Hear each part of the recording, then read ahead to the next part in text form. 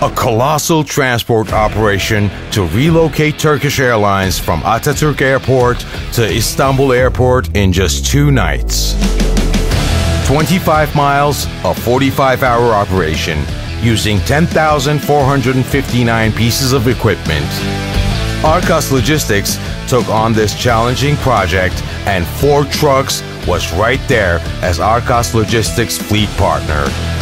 We're proud to have supplied the vehicles for one of the single largest relocation projects ever undertaken in aviation history.